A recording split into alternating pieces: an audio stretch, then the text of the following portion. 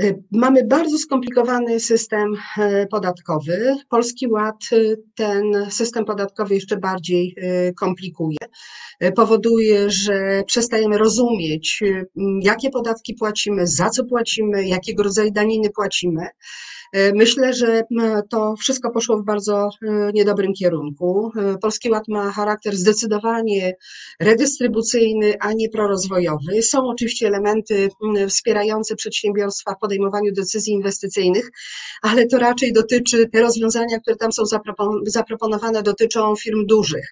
Natomiast obciążenia będą dotyczyć firm mniejszych. Obawiam się, że efekt będzie taki, że małe firmy po prostu w tej sytuacji, w której w tej chwili jesteśmy, e, kiedy mamy bardzo wysoką inflację producencką, firmy ponoszą coraz wyższe koszty związane z prowadzeniem działalności gospodarczej, rosną ceny energii, rosną mm, ceny gazu, rosną wynagrodzenia.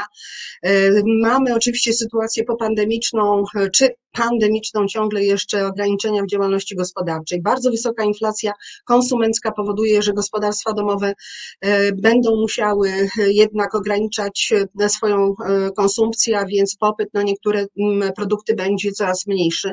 Będzie to wpływać negatywnie na, e, na przedsiębiorstwa. Efekt no, będzie naprawdę mm, tragiczny tak naprawdę dla naszej gospodarki. Jakaś część przedsiębiorstw działalność gospodarczą będzie zamykać albo wręcz będzie bankrutować, bo nie będzie zdolna do realizacji swoich zobowiązań. Cały świat się rozwija. Wszyscy, właściwie wszystkie gospodarki, bardzo wyraźnie to widać, E, robią bardzo duże nakłady na innowacje, e, inwestują w badania i rozwój, e, cyfryzują się, a naszym przedsiębiorstwom ogranicza się te możliwości poprzez znacznie większe daniny. I ta redystrybu ten redystrybucyjny charakter oczywiście powoduje, że ci najsłabiej uposażeni będą mieli po troszeczku więcej, ale de facto cała gospodarka przestanie się rozwijać.